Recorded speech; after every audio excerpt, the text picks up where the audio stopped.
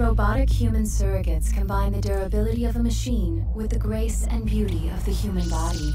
With most people living their lives through their surrogate selves, our world has become a safer place. Take a seat in your STEM chair. And just with the power of your mind, you can control your surrogate and send it out into the real world. You can live your life without limitations. You see what they see, feel what they feel, and become anyone you want to be from the comfort and safety of your own home. You can finally live the life you've always dreamt of without any risk or danger to yourself. We are confronted with an unprecedented situation. Two people have died while connected to their surrogates. I think we may actually have a homicide here.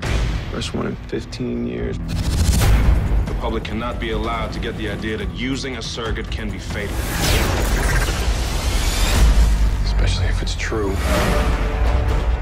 I just want to know how an operator can be killed by signals from a surrogate. Surries have been blown to bits without the least bit of harm to their operators. If it were possible, it would defeat the entire purpose of surrogacy.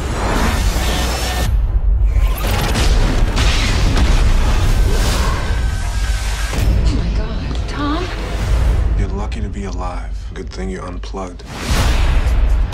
How long is it since you've been out without a surrogate? Can't even remember. It's different when you actually feel the pain. What do you want from me? My wife. I am your wife. No, you're not. We changed the world and now you want to destroy it? How do I stop this?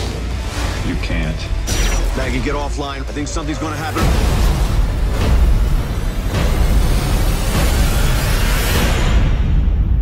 What happens now? Now it's up to you.